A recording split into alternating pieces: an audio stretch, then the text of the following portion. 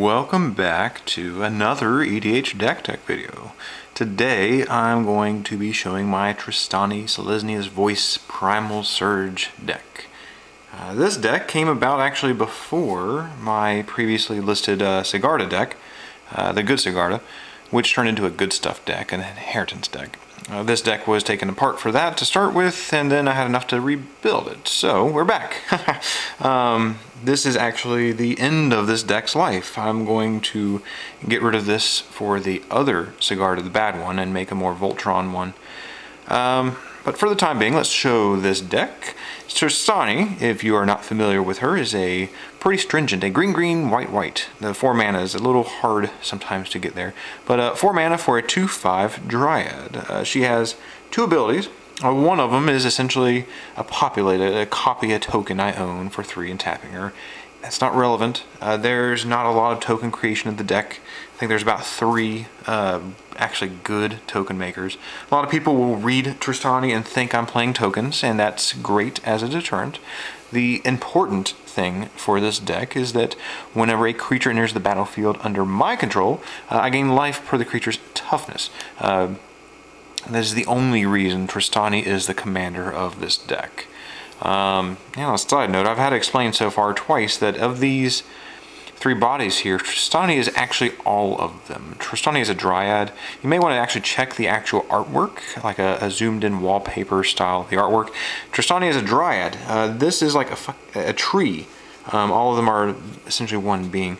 So yeah, complicated. Anyways, here mainly just for lifelink. There was, or life gain. Uh, there was some other life gain nonsense. The deck as a lifing deck at one point, and it just evolved uh, into this. Now let's go ahead. While I'm at it, there is one single spell in the deck. This is the only sorcery. There are no instants. Again, this is a Primal Surge deck. So if you're unfamiliar with what that means, it means that this is the only spell. It's all permanents, and if this spell is allowed to resolve, I almost always win the game. Uh, because it essentially exiles the top card of my deck, and if it's a permanent it comes into play, and then I may, may ability, not must, repeat. Uh, so if there's no spells in my deck, every permanent in my deck, the entire deck, comes straight into play. Uh, there's a few insta-win kind of scenarios that a lot of people like to run. Um, Mine is not exactly an insta-win scenario, but it's usually a back-breaking scenario that's nearly impossible for the opponents to interact with. So, essentially, if everyone in my group knows that if this spell is allowed to resolve, I'm just going to win the game, and they just pick up their cards. Kind of cheesy, but let's get it out of here. Now, the deck has a bunch of creatures. Again, is there just to gain life, so there's a massive complement of creatures in the deck. Um, I have recently taken out the uh, Primordial Sage and whatever this whole of the Harvest guy is for an elf deck, so they're not in the deck, but they should be. Um, so we have mana dorks. There's a few that just tap for mana. So we have the Avacyn's Pilgrim, the Bird's Eye. This one's really good. Well, this both of these are ideal for getting Trostani out because of her stringent colors. Sack Elder, same thing, gets a land into play. Magus of the Library is a placeholder. I have actually taken Sol Ring out of the deck. This is a placeholder for Sol Ring. I just wanted a deck that does not run Sol Ring, so it's fun saying I have a deck without Sol Ring, and he's a cool card anyways. He's essentially just a 2-drop mana dork. The draw effect on him doesn't happen. Um, if you're unfamiliar with the base of this, this is a library, library of Alexandria in a creature form. Uh, we have Sylvan Caryatid as another placeholder. This was one of those draw guys. Now, what the deck does, oh, let's keep on going. There's Yavimaya Elder, just a generically good card. He comes in and he usually equates to three cards to us. And Nissa is going to replace herself to a land and hopefully flip to that. Um, Courser is another way of getting lands off the top of our, well, the only way. There's no longer a, uh, what is the creature called? whatever. This is letting us play a land off the top of our deck and also a little bit of life gain. Here we go. Now, this entire chunk here, uh, all these creatures, into the battlefield and get us a land. The trick with Primal Surge is, yeah, you can do big mana real fast off of elves, but you have no way of tutoring this. So, although it's a very minor percent change, getting the creatures that enter the battlefield and get lands from your deck into play does thin your deck and they are also harder to deal with land than the creatures that tap for mana. So all of these enter the battlefield and get land. Um, literally each and every single one is an enter battlefield, grab a land, put it into play. I'm actually running Solemn in a green deck. Uh, some of these are just not optimal, like a four drop that's bad. Uh, these are new. This is actually a brand new one that just came out. It's literally an Ondu Giant with the power and toughness played around with a little bit. We have a 5 mana 4-4. and an actually good one is Ulvenwald Hydra. This one can get any land out of my deck, a non-basic land like a Yavimaya Hollow, um, something like that, and put that into play tapped. Now let's go on through the rest of the creatures. Uh, there's another stack here. These are all enter the battlefield do stuff creatures. Um, this was a harmonic sliver until this new guy was printed, sacrificing the effect of getting rid of an enchantment for the trade-off of slowing down artifact ramp. It's actually really good. I love this card. Uh, this is actually a card I can sometimes consider playing it in more competitive decks. Like uh, if your opponents are playing all sorts of stormy stuff with lots of quick artifact mana dumping their hands wheeling, this is a fantastic stacks effect to stop them from using the artifact mana immediately. We have ways of getting a big creature. I like getting Woodfall or Woodland Bellower with this guy, or using the Bellower to get this guy to go get something else, because it's like a three drop tool package. You'll notice a lot of my creatures are three drops because they are good with the Woodland Bellower. Uh, we have a Rex Rexage, another three drop, likes to blow things up. We have a Stone Cloaker, another three drop that can flicker something. So I can use the Bellower to flicker this to again rebuy the Bellower later. We have another flicker saving grace effect. This is great at save holding up just to someone's going to try to remove something or even just using her to rebuy some trigger and gain some life off Trostani. Acidic Slime is what you would expect to see in this type of deck. Same thing with Karmic Guide, just reanimation. And Sun Titan is just another way of pulling permanents back.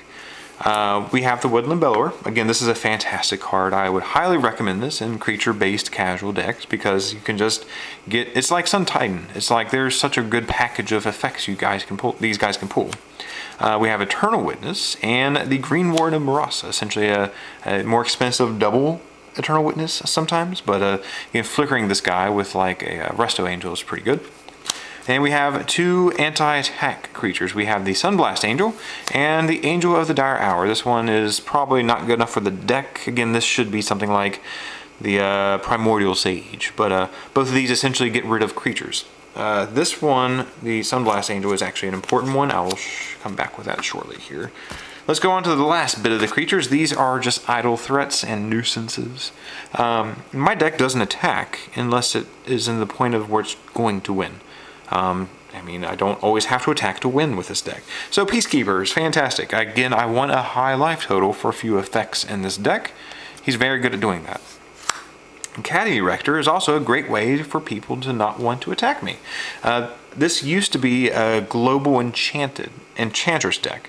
Uh, not auras, but things like um, collective blessing, I think is what it's called. All creatures you control get plus three, plus three, and crap like that. Um, the deck does have a bunch of enchantments, but this will most likely just go get like a Mirari's Wake or a Zendikar Resurgent, something like that.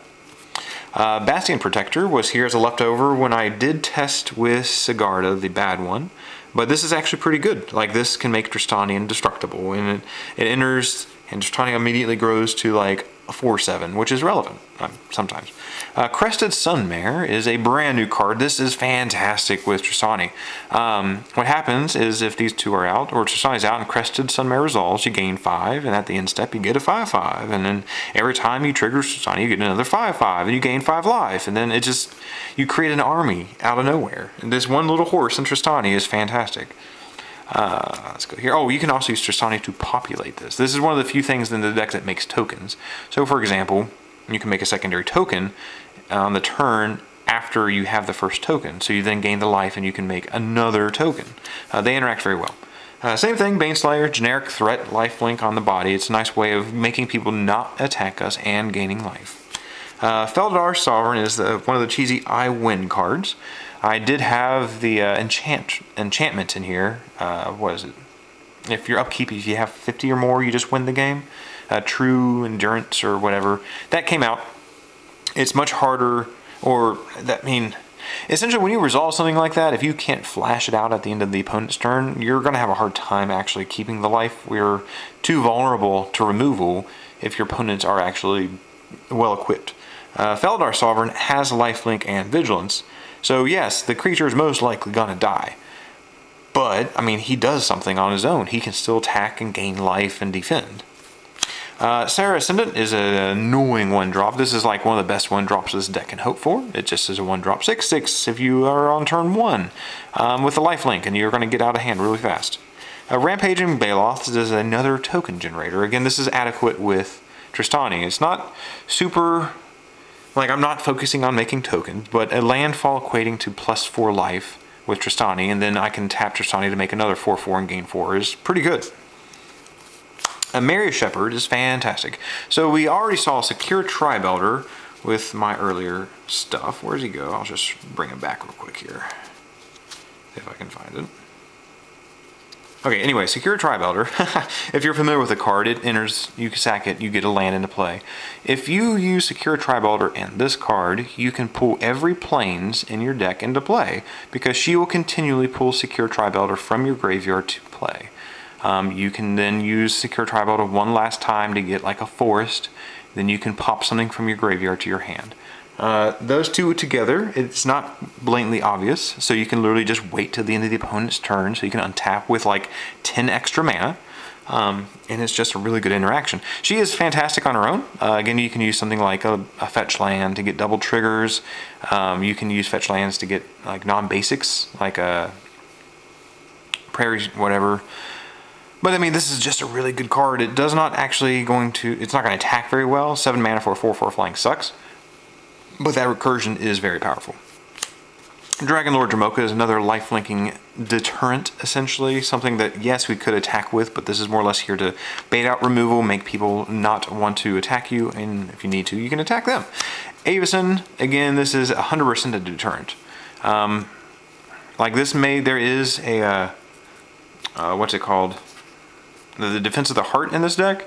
So yeah, she could come out early, out of nowhere. She's not really intended to. Um, but this is more here to keep us safe since we do have a tendency to ramp pretty hard in the deck. Um, Vorinclex is here for obvious reasons. Again, it's just a bait spell. These creatures are not actually intending on killing the opponent. These are here to create hard to deal with board presences and gain life and almost stacks them out.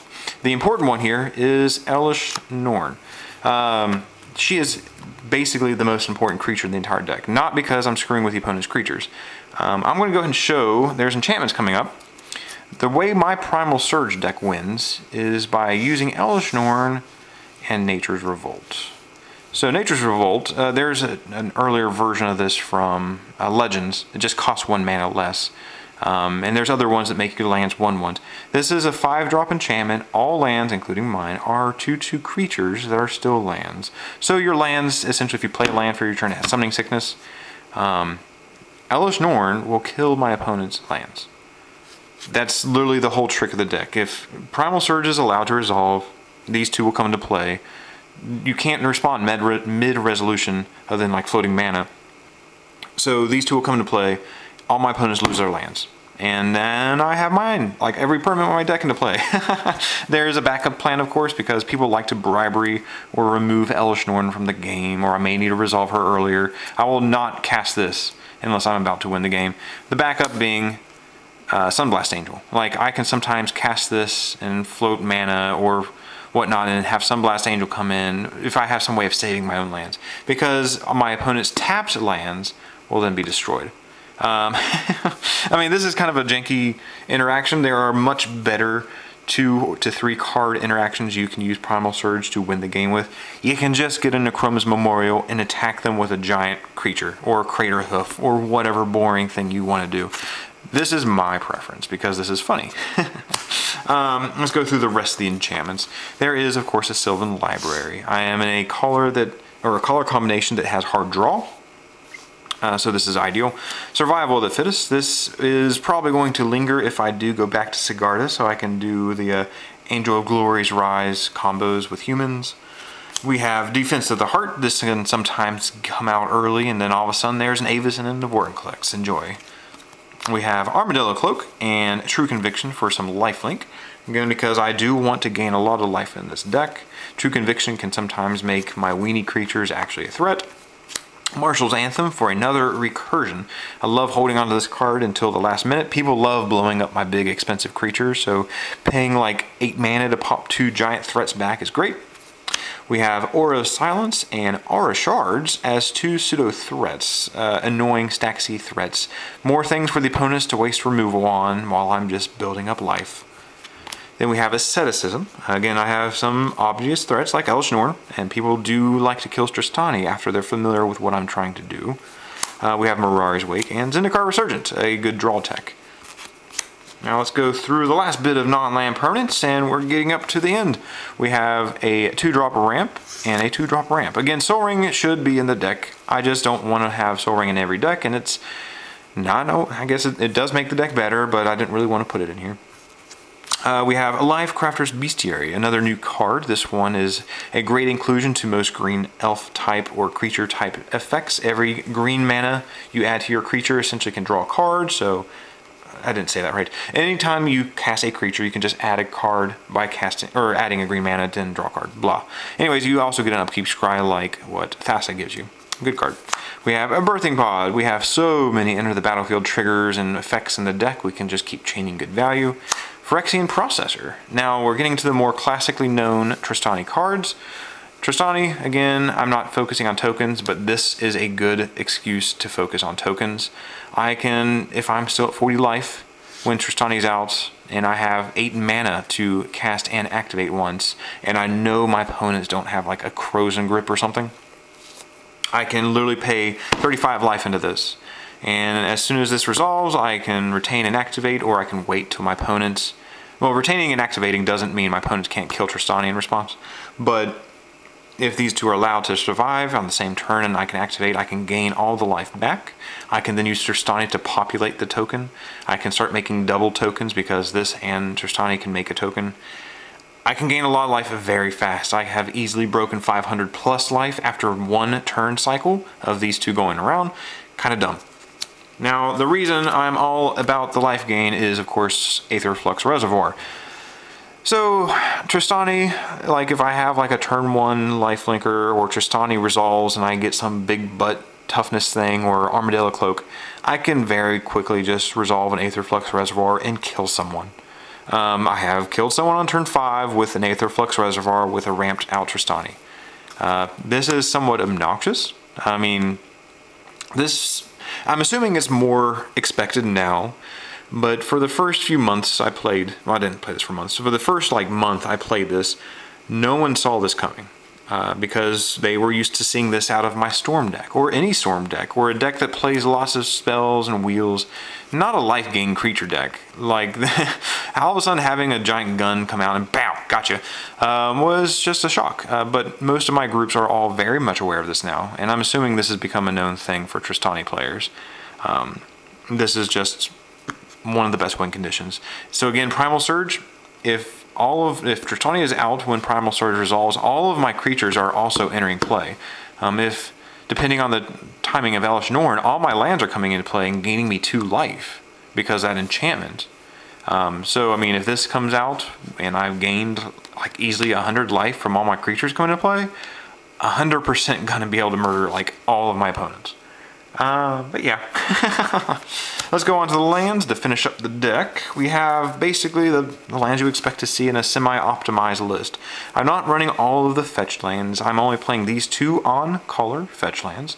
Coming to play tap fetch land that can get non-basics, and the good one. We have three fetchable non-basic lands. The forced or the forced plains. I like this one because you can cycle, and this deck does tend to draw too many lands we have just generic colorful lands. Uh, Horizon Canopy is great because you can sack it later if you don't need the card or the land. We have a come to play tap land. This is maybe the first one to cut if you're doing optimization because scrying is not always that good compared to immediate access to mana. Uh, we have again this one is situational. You may have to discard or come to play tap. It just it just bends. Uh, Brushland is ridiculously expensive because of modern Eldrazi Tron whatnots. Kor Haven and a Yavimaya Hollow being the two legendary non-basics I like to get, and a Krosan Verge to help get more like the, the fetch land or the the shock land and the, the tango land out. Then we have a whole bunch of these DCI like Mirrodinish era uh, force and plains. I normally would put more force in here, but because of the Emeria Shepherd, I do have a fair, fairly high number of plains. And again, that is important Trostani is exactly two of each, and if you want to see her consistently on turn three or four with your ramp, depending on what you got, you do have to have good colored mana. Uh, but yeah. So this is my Trostani list. It is it's a funny list. It is your typical, I won't say typical, it is a Primal Surge list. Most Primal Surge lists will run red because they want to use Purphoros and Avengers Zendikar to just end the game. Um, or even just, yeah, there's a lot of ways you can take this. This is my preference because seeing funny enchantments blowing up people's lands, it's not an instant game win, but it's it, it ends the game. Um, yeah, any feedback, I'm always open. Again, this is, I'm going to be taking this apart. I may revisit Trostani later. So I'm always open to feedback now or new cards if I don't keep up with it. Do, do let me know. Uh, but shortly, this will be replaced with a cigar list, and we will see that soon.